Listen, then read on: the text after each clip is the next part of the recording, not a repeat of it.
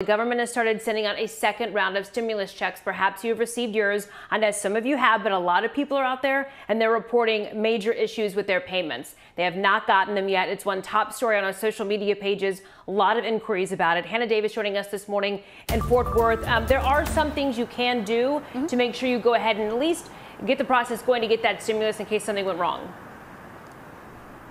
Yeah, good morning, Kara. That's our goal this morning is to really help people through these uh, issues that they might be facing and what they can do to make sure they get that money, even though it may not have been as much as they originally wanted. But let's take a look at the issues and what you can do if you are encountering those. Now, lots of people are saying their payment actually went to the wrong account or came in the wrong amount. Some still say they're waiting for anything, but others say it does seem to be working correctly for them. Now, the IRS did relaunch its Get My Payment portal on Monday where people can look up the status of their payment and get updates. Now, to do this, you check the status, this is what you need to do.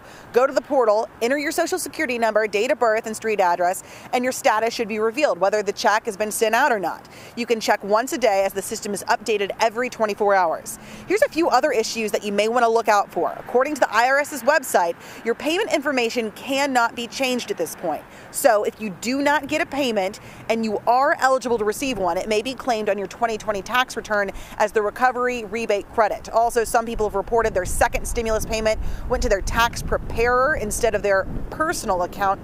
If you use a third party company to help file your 2019 taxes and get a refund, you may want to reach out to them, but be aware a lot of them are saying that the support lines for the phone calls that are coming in have long, long wait times because a lot of people are encountering that.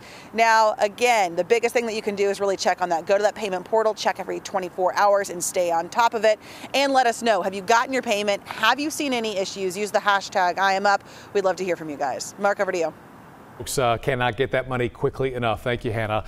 Okay, time to turn our attention to COVID and the situation in Tarrant County. Uh, COVID-19 deaths so high that there simply is not enough room to keep up. This is a tragedy that far too many families locally and across the country have experienced personally. As we say good morning to Chris Sadeghi, who joins us live. This is not just an issue in Tarrant County, Chris. North Texas overall experiencing strains on our hospitals.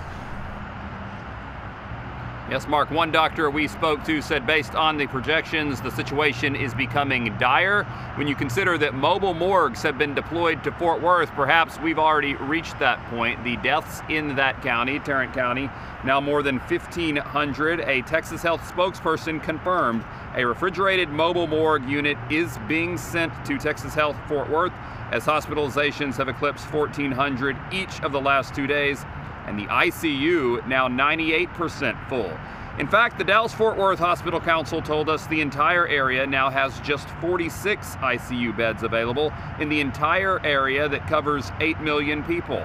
The UT Austin Modeling Consortium says the area will need an additional 100 ICU beds in just the next 10 days after COVID cases saw a 30 to 50% increase in spread after Thanksgiving in Texas. Their models show a similar expected spike from Christmas get togethers that have things looking, as he described, dire. And as hospitals fill up, it's not just a matter of space that they're concerned with, but also staffing with so many patients. These frontline healthcare workers we've talked about for the longest time are overwhelmed. And also think back to that spike we saw back in the summer in July with hospitalizations. This current spike has now doubled that spike last year. Mark, back to you.